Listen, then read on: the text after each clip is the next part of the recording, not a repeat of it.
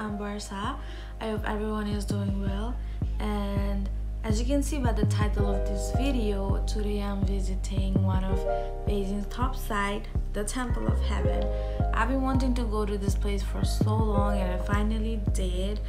Oh, by the way, in Chinese it's called Tiantan. And I hope you enjoy this video.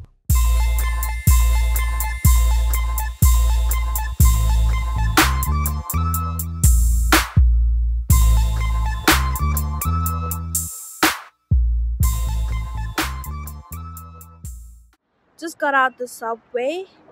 Now we have to walk for about a minute or so to get to our destination. I'll see you guys there.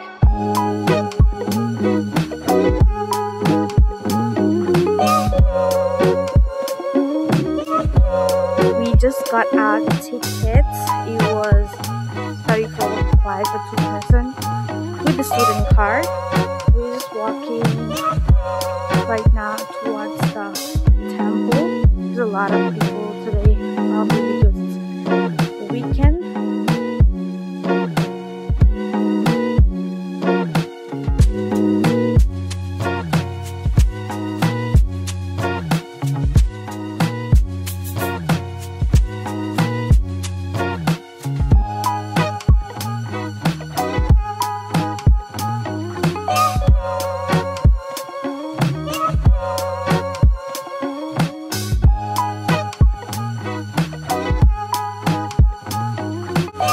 And to talk a little bit about this temple, this temple was built during the Ming and Qing dynasties, and the of these two dynasties used the temple to worship heaven by sacrificing animals and praying for a bountiful harvest.